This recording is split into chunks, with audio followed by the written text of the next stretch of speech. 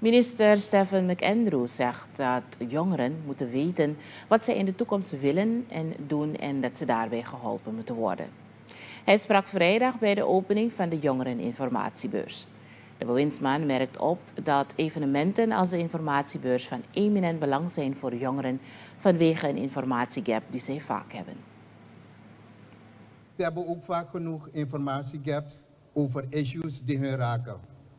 En ik hoorde de voorzitter zo net uh, een organisatie noemen, uh, Lobby uh, en andere. Dus we moeten jongeren informatie geven, zodat ze bewust keuzes kunnen maken in hun leven.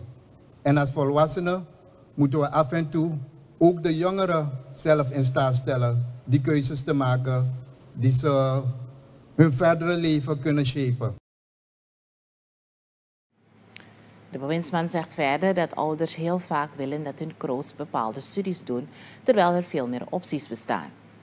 First Lady Melissa Santoki Sinecheri vindt het prachtig dat tijdens de informatiebeurs ook internationale organisaties studiemogelijkheden hebben belicht.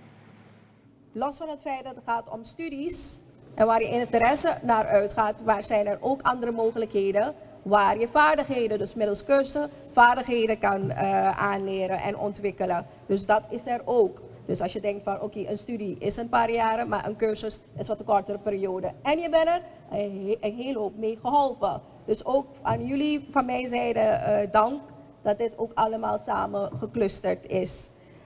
Ja, we hebben het gezegd, onderwijs opent de deuren naar de toekomst, maar niet gewoon de toekomst. En het geeft eindeloze mogelijkheden.